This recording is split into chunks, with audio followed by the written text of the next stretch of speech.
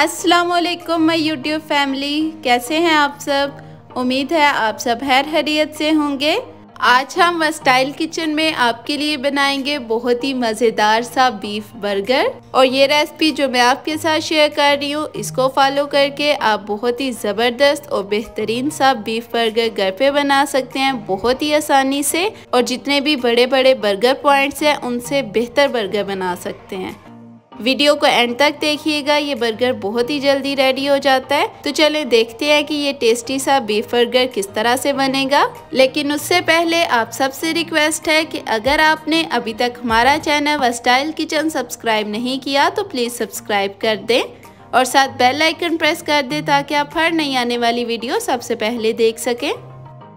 ये मज़ेदार सा बीफ बर्गर बनाने के लिए पहले पैटीज़ बना लेंगे। पैटीज़ के लिए हमें चाहिए बीफ कीमा। मैंने आधा किलो बीफ कीमा लिया और कीमे को अच्छी तरह से वॉश करके इसमें से पानी निचोड़ दिया प्याज लेंगे एक दरमियाने साइज़ का और बारीक काट लेंगे। एक खाने का चम्मच अदरक लहसुन का पेस्ट अंडे लेंगे दो अदद। ब्रेड क्रम्स लेंगे आधा कप अगर आपके पास ब्रेड क्रम्स अवेलेबल ना हो तो आप ब्रेड के दो स्लाइस ले लें और थोड़े से दूध में भिगो के तो वो कीमे में यूज़ कर लें। दो से तीन अदद सब्ज़ मिर्चें या आप अपने टेस्ट के हिसाब से ले लें और बारीक काट लें। आधी गट्ठी सब्ज़ धनिया लेंगे। नमक लेंगे एक खाने का चम्मच, पीसी हुई सूर्ख मिर्च आधी चाय की चम्मच। सफ़ेद ज़ीरा लेंगे आधी चाय की चम्मच। पीसी हुई काली मिर्च, एक चाय का चम्मच, खुश्क धनिया पाउडर लेंगे, एक चाय का चम्मच, गरम मसाला पाउडर, आधी चाय की चम्मच, कुटी हुई सुरख मिर्च लेंगे, आधी चाय की चम्मच, कीमे को आप फ़ूड प्रोसेसर में डाल के बारीक पीस लेंगे। अगर आपके पास बारीक पीसा हुआ कीमा हो तो आपको ये स्टेप करने की ज़रूरत नहीं।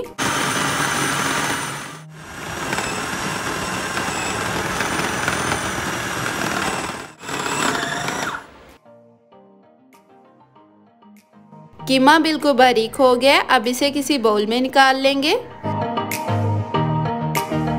अब इसमें सारे इंग्रेडिएंट्स ऐड कर देंगे। बारीक कटी हुई प्याज, अदरक, लहसुन का पेस्ट सब्ज़ मिर्चें, सब्ज़ धनिया ब्रेड क्रम्स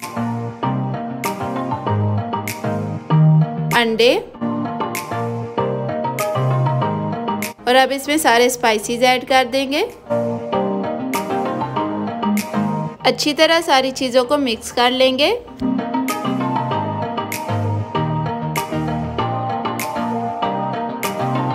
अब इस कीमे के मिक्सचर को तकरीबन आधे घंटे के लिए फ्रिज में रख देंगे और रेस्ट देंगे। तब तक हम बर्गर के लिए सॉस बना लेते हैं। उसके लिए हमें चाहिए खीरा, टमाटर, बंद गोभी, प्याज। इन सारी चीज़ों को बारीक काट लेंगे।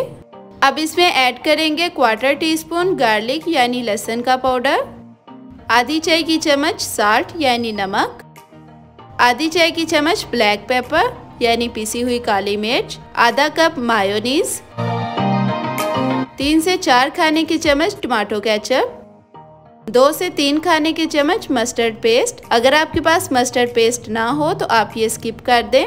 अब इन सारी चीज़ों को अच्छी तरह से मिक्स कर लेंगे।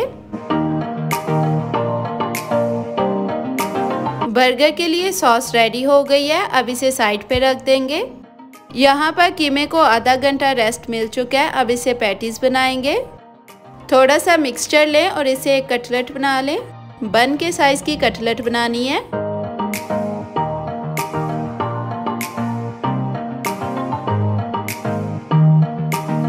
इसी तरह से सारे मिक्सचर की कटलेट्स बना के रख लें।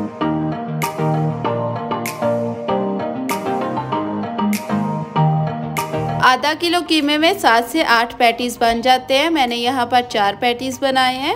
अगर आप पैटीज़ को स्टोर करना चाहें तो आप इनको इस पॉइंट पे जिपलॉक बैग में या किसी भी एयर टाइट कंटेनर में डाल के फ्रीज़र में रख दें। आप इनको 15 से 20 दिन के लिए स्टोर करके रख सकते हैं। अब पैटीज़ को फ्राई करेंगे। उसके लिए मैंने एक ग्रिल पैन में थोड़ा सा ऑयल गर्म कर लिया है। पैटीज़ को आप गोल्डन ब्राउन कलर आने तक फ्राई करेंगे मीडियम टू लो फ्लेम पे। अगर आपके पास ग्रिल पैन ना हो तो आप तवे पे या नॉन स्टिक पैन में पैटीज को फ्राई कर लें। तकरीबन पाँच मिनट में पैटीज फ्राई हो जाएँगे। अब इन पे चीज़ रख दें। मोजरेला या चैडर चीज़ जो भी आपके पास अवेलेबल हो, आप वो यूज़ कर सकते हैं। चीज़ मेल्ट हो जाए तो पैटीज़ को प्लेट में निकाल लें। अब बर्गर की असेंबलिंग करेंगे। उसके लिए मैंने बन को पैन में सेक लिया है दोनों तरफ़ से। अब बन पे टमाटो केचप या पिज़्ज़ा सॉस लगा दें।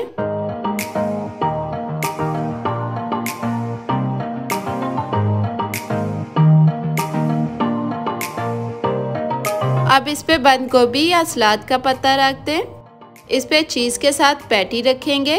टमाटर के दो स्लाइस रखेंगे। अब जो सॉस बना के रखी थी, वो स्प्रेड कर देंगे।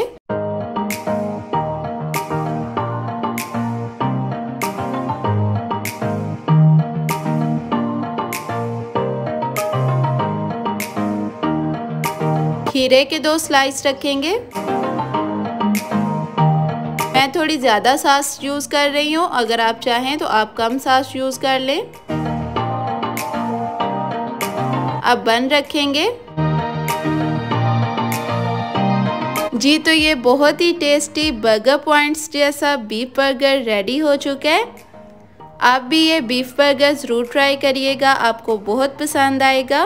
वीडियो अगर अच्छी लगी हो तो लाइक करें वीडियो को शेयर करें अपने फ्रेंड्स और फैमिली के साथ और चैनल स्टाइल किचन को सब्सक्राइब करना ना भूलिएगा। कमेंट सेक्शन में कमेंट करके बताएँ कि आपको ये मज़ेदार से बीफ बर्गर की रेसिपी कैसी लगी। दुआओं में याद रखिएगा। थैंक्स फॉर वॉचिंग अल्लाह हाफिज़।